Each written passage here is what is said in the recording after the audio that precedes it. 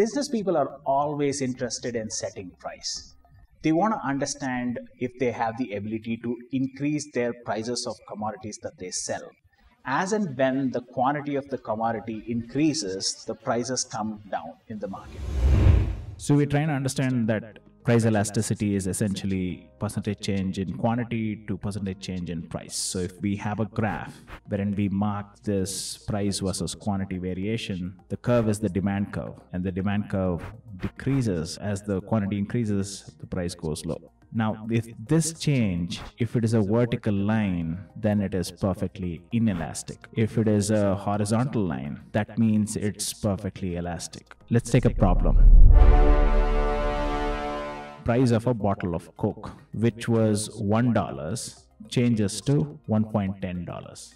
The demand decreases from 5 million units to 4.8 million units. Now, if I have to find out the price elasticity of a bottle of Coke, you figure out what is the quantity before and after.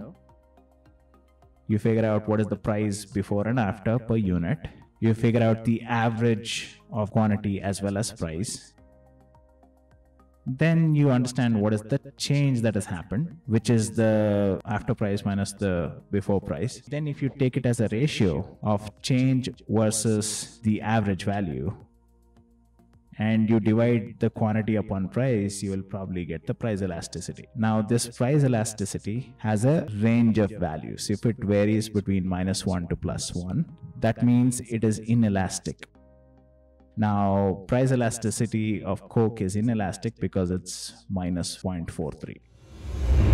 Price elasticity of demand is dependent on three factors. It's dependent on last time the price changed, the substitutes that are available, and relative income that you spend on the good. In price elasticity of demand, we are looking at one commodity affecting another and quantity change in one commodity affects the price change in another commodity. So when you think of the other commodity, it either has to be a substitute or a complement. Think of substitute like this. You know friends, right? Ross had his marriage and he wanted to call his best man and he wanted to choose between Joey and Chandler. They are substitutes of each other.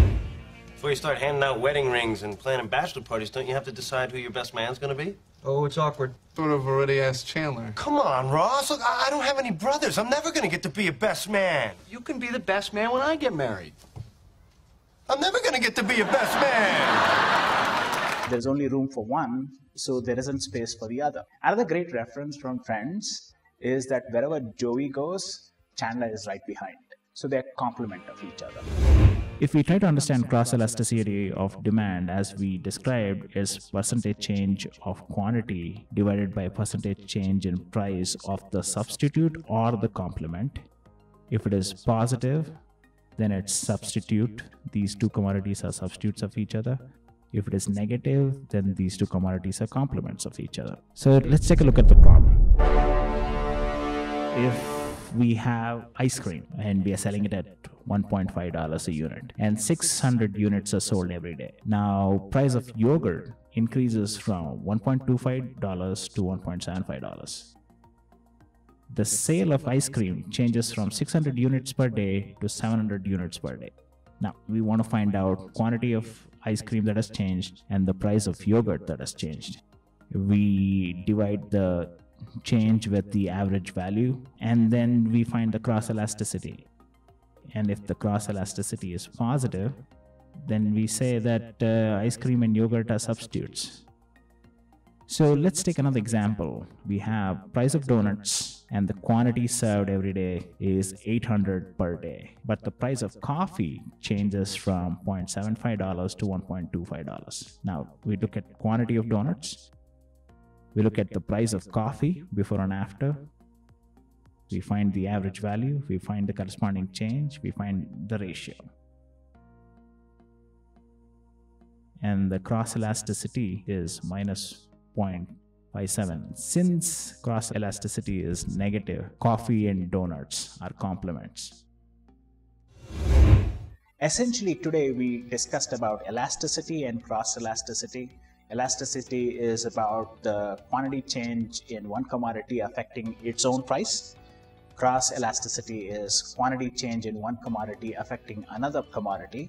If the cross elasticity is positive, then it's essentially substitutes of each other. If the cross elasticity is negative, that means these commodities are complements of each other. So stay tuned and join us next time to understand more insights about the world that we live.